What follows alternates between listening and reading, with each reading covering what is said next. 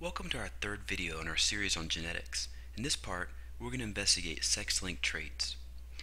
In 1910, Thomas Hunt Morgan was studying genetics using Drosophila melanogaster. Well, what's that? The common fruit fly. And the reason why we use fruit flies for, to do genetic research is that they reproduce quickly and in large numbers, they only have four pairs of chromosomes to track, and they're inexpensive and easy to work with. Now one of the characteristics that's easy to see in fruit flies is the eye color. Most fruit flies have this very distinctive red eye. It's called wild type, but we're just going to call it red. But one day Morgan happened across a white-eyed fruit fly, which suggested a white eye allele. In this mutant version uh, of male, oh, he found a white-eyed male fruit fly. And so logically, he wanted to cross these two and see what would happen. And when you do cross these two parent fruit flies, all of your F1 generation have red eyes, which suggests that the red eye allele is dominant to the white eye allele and would give us these genotypes. So far so good, nothing unusual here. But now let's take two of our F1 flies and cross them. So I'll move these guys up to make room. And we have these heterozygote or hybrid fruit flies uh, in our F1 generation and we bring in another and we make this cross. Now, I want you to stop the video and give me what you think the results are going to be. What do you hypothesize in the F2 generation? Well, hopefully you learned in our past videos that we could easily set up a Punnett square, and we should see a 3 to 1 phenotypic ratio where we have red eyes, red eyes, red eyes to 1 white-eyed. So let's see what Morgan found. Well, it turns out that he got a 3 to 1 phenotypic ratio. At this point, you should be saying, well, Mr. Savage, why are we talking about this? We knew that was going to happen. Well, let's look at these F1 flies a little bit closer.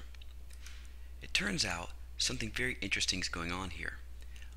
When you had 3 to 1 red eyes to white eyes, that's interesting, but it's more interesting that not a single of the white-eyed flies was female, and exactly half of the male flies had white eyes. Really, gender shouldn't, shouldn't matter. We should have a 3 to 1 ratio regardless of they're male to female, but, but it wasn't like that. So then the question is, could white eyes only happen in males? Well, we have to do another round of crosses to find out. So let's make an F3. So we'll take this white-eyed male and we'll cross it with these uh, red-eyed females from this F2 generation. So first let's pull one of these over and cross a white-eyed F2 male with a red-eyed F2 female. And sometimes when we do this, we got 100% red eyes. Again, we can't figure out too much from that. But interesting, when we take this white-eyed male and cross it with this other F2, sometimes when we make this cross, the offspring were 50-50, red eyes to white eyes. Furthermore, we had half of the males exactly white and red, and half of the females so white eyes could show up in female fruit flies. So what's going on here? Is this normal Mendelian genetics? It seems in this case that gender matters. So what determines gender? Now I'm going to come back to Morgan's experiment in just a moment, but we need to kind of take a detour for a while and then see if we can get back there. So just some information. In humans, we have 46 chromosomes in 23 pairs fruit flies have 8 in 4 pairs. We have 22 of these chromosomes that we call autosomal. They're homologous. They're the same no matter you're, you're male or female. You get two of every of these uh, first 22 pairs. But the last pair is a pair of chromosomes that we call the sex chromosomes. Let's make a little more sense of that.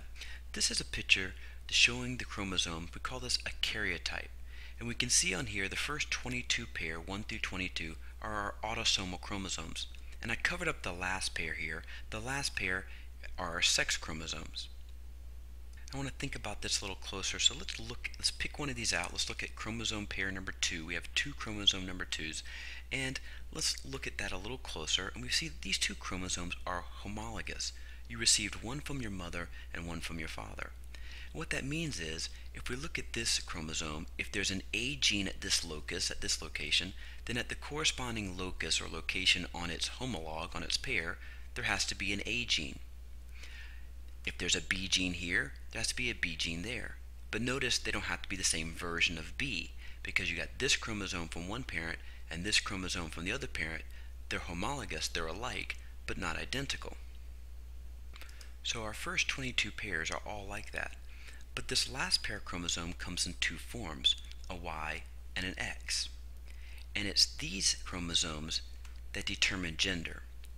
So we have the X version of the chromosome and the Y version of the chromosome. And if you inherit two of the X genes or X chromosomes, you're female. If you inherit an X with a Y, you're male. So that every time we have offspring in humans and the same in fruit flies, we have to cross a female with a male because you know, that's just biology. And if you need to understand that, then we need to do some remedial work. But I have a female crossed with a male, and we could set it up instead of with genes, with chromosomes, and to see how gender is determined. So I'll put one parent along here, the mom, and the dad across the top. Whoops, did not mean to move those. And we can see, or you can fill in and see what happens, but hopefully you would get this. We have 50-50 chance of getting male offspring versus female offspring. So these are the females and these are the males. Well, how does that relate to what Morgan was doing? Well, we need to look at these two chromosome pairs a little closer. So when we look at the two X chromosomes, we should be able to see that they're homologous.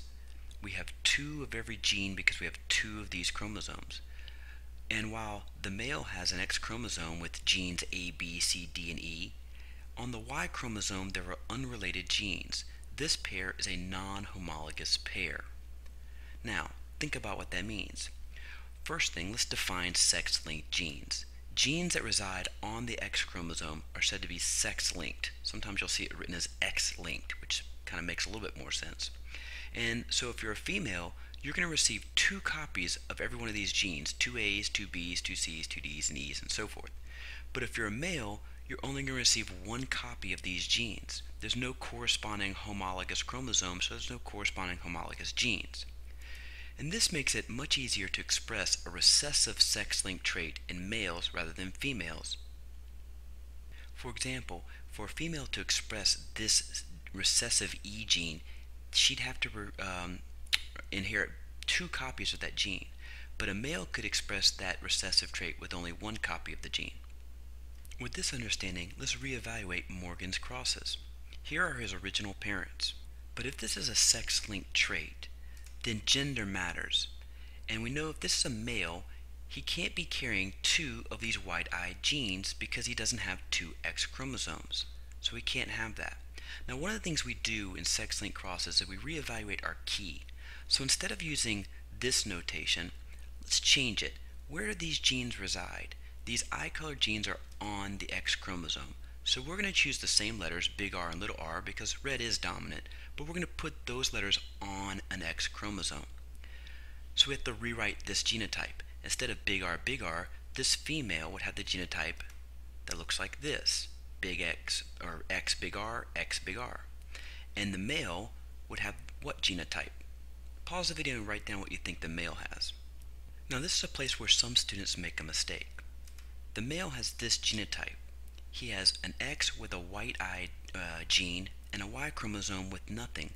Remember, there's no corresponding genes on the Y chromosome, so the male only gets one eye color gene. In this case, a white-eyed gene, that's why he has white eyes.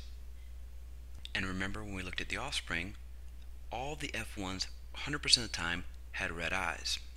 Using a Punnett square, see if you can see, make um, kind of write why that would happen. Uh, pause the video and do this cross. Now, I hope you did pause the video, but if you didn't, we're going to go on anyway. So I'm going to take this parent and put her along this side, separating those genes, the principle of segregation, and we'll put the dad across the top. Now it should be really easy to fill in our boxes. We can see that we have a red-eyed female, a red-eyed female, red-eyed male, red-eyed male. So it's very obvious that 100% of our F1s would be red eyes. Now let's move on to our F2 generation. We crossed two of our F1 flies, a female with a male, of course.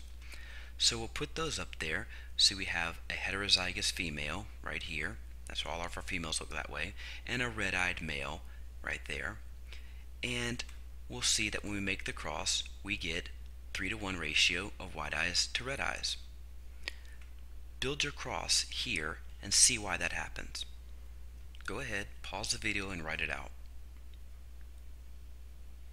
It doesn't matter which side you put each parent, but I'll put the female on this side. There's my heterozygous female, and I'll put my male across the top. He has red eyes, and then we'll fill in our Punnett square. Hopefully you got the same thing I got. And it becomes very obvious why we have a 3 to 1 ratio. Red eyes, red eyes, red eyes, white eyes. It also becomes obvious why none of the white eyes have, are females. All the females have red eyes, and why exactly half of the males have white eyes and half have red eyes. So there you go, a very famous experiment by Thomas Hunt Morgan. And let's think about why it's so important. While Gregor Mendel told us that traits are determined by distinct factors, genes, Morgan tells us that these genes are carried on chromosomes. Now, I'm going to challenge you here. Let me give you another example to work. Hemophilia is a blood clotting disorder that's caused by a sex-linked recessive trait. I want you to set up and give the results of a cross between a carrier female and a normal male. Pause the video, get out a piece of paper, and solve this problem. So, what's the trait? The trait's blood clotting factor. And it says that hemophilia is recessive, so normal's dominant, hemophilia is recessive, so we can give normal a big N and hemophilia a little n. But it's a sex-linked trait, so these genes are on an X chromosome. We have to cross a female with a male, and now we have to figure out what they are. The female is a carrier. If you're a carrier for a trait, you have the gene, but you don't express it. So she's heterozygous. And the male's normal, so he has a big N. So, build your Punnett square.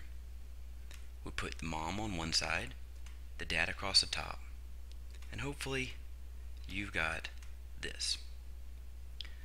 So that does it for sex-linked traits. Uh, in the next video I'm going to look at some human um, genetic disorders. I'm also going to look at a concept called non-disjunction that's very important. So come back for that video and if you have any questions put them in the comment section below the video and I hope you learned something.